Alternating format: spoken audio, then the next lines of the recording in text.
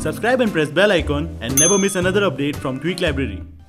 Hello everyone, welcome to Tweak Library. My name is Akshita and today we will take a quick look at some of the best iPhone and iPad cleaner apps.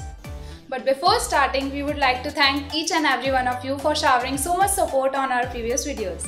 If you are running out of space on your iPhone or iPad, we have the perfect solution for all the users. On number 1 we have iMyFone Umate for Mac. The name is quite popular in the utility market as it offers a plethora of features to remove junk, redundant files, cookies and logs to improve device performance and keep it organized. It deletes temporary files in a single tap, protects your privacy, easily backups your pictures and videos. Free to use version has limited features, customization options are missing.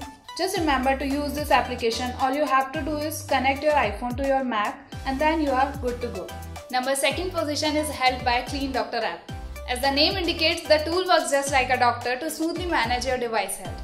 By cleaning unwanted files and other junk that is making it slow. It is capable to search and remove duplicate files, user-friendly interface with easy-to-use features, displays disk storage uses, provide a poor selection of tools in a free package. Next we have in our list is Phone Cleaner by Nektony Limited. The app lets you remove the largest media file in a few taps and swipes. It easily cleans unneeded, duplicate and similar photos as well. It find and remove multiple media files in a tap. Great interface with easy to use features. No advanced features are available to optimize the iPhone. Smart Cleaner is our next go-to app for cleaning and optimizing iPhone iPad devices. This tool comes with an easy to use interface and multiple features to quickly clean your device in just a few taps. It removes all unwanted files at once, organize photos based on location, search and remove duplicate contacts, similar photos and more. The free trial period is available with limited features.